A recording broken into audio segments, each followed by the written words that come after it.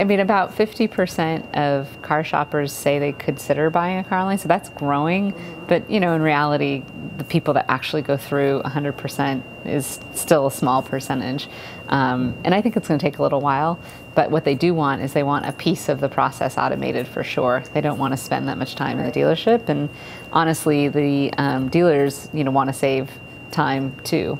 So what we've built is enabling that efficiency to happen within the, the dealership where we're empowering, whether it's a, you know, they call it salesperson or a product specialist to go end to end with a customer. So you don't, you, can involve other departments, but you don't have to. A lot of the dealerships that have worked with our platform are actually migrating to one person um, and takes them all the way through.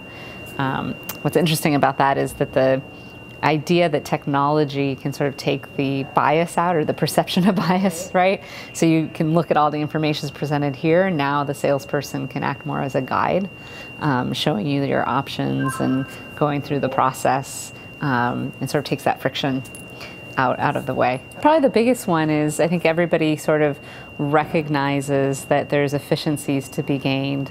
You know, there's a lot of pressure that's happening um, financially on dealerships, and so they're looking for ways to streamline their process.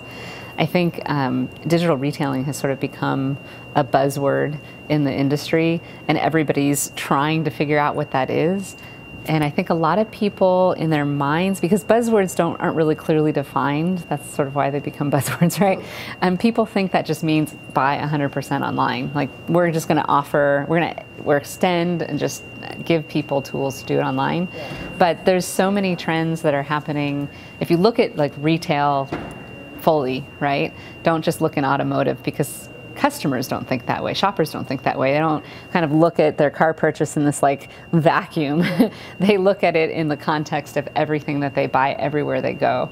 And so when you look at it that way and you think what's happening in other industries, a lot of the technology that people are using at home are moving in store.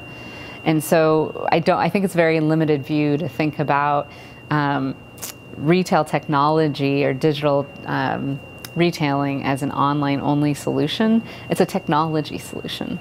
And so what we see is people looking for how do I connect what somebody might have done already online with what's happening in my dealership so that I know what they looked at. Um, maybe they've you know uh, started to play around with finance terms, they've submitted their credit application. Sort of this end-to-end process can happen in, a, in technology, not meaning that they're doing it all from home. And I think that's the misnomer. And I think when um, when automotive retailers start to think that way and they start to think end to end, they'll recognize that there's a huge opportunity to solve that issue that I was talking about in the beginning where they're trying to streamline their operations. You know, how do I use technology? Um, so that whole idea of e-commerce or commerce coming in store is a big trend that I'm seeing just in retail in general. You look at like the Apple Store and others that are using technology with customers. Um, the other one is this idea of sort of co-shopping. So, you know, the ability to shop side by side with a salesperson, like I was saying, the technology has the ability to enable somebody to desk their own deal right? Sitting there with the dealer. And so these types of things are creating efficiencies, but also um, increasing customer satisfaction, which has always been important to car dealers, right?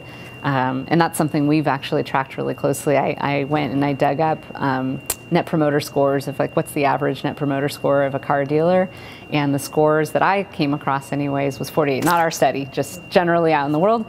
Um, but we do know the dealers using our platform and they're seeing um, net promoter scores in the 85, 90, 95 range. So like a doubling in satisfaction.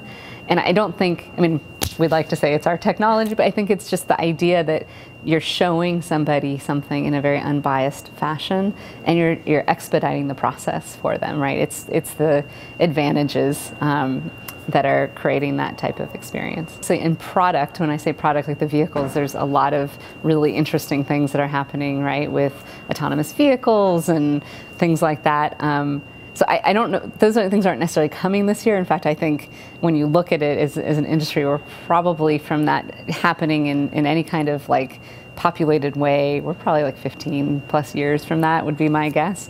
Um, but that's a hot topic that you know people are talking about. I think it's actually the less sexy things potentially that um, that are the most exciting um, because the process of buying a car those types of things, you know, people that are playing with mobile technology and data and, you know, how do you make it so that it's such a seamless, you know, experience that whatever I looked on, at online, now the dealer has that in their hand and they can say, oh, I know that you were looking to pay cash and you're looking at these three vehicles. You know, so much of it is about um, a little bit of Groundhog's Day. Like, I don't know what you research. Sometimes you know more than I do. how do I solve some of those more basic problems? To me, that's exciting because of the pain points that have existed, you know, in the industry for so long from a, a process standpoint. Uh, you know, what's so interesting for me about NADA um, is that there's so much, um, there's so many things, I guess is what I'm saying.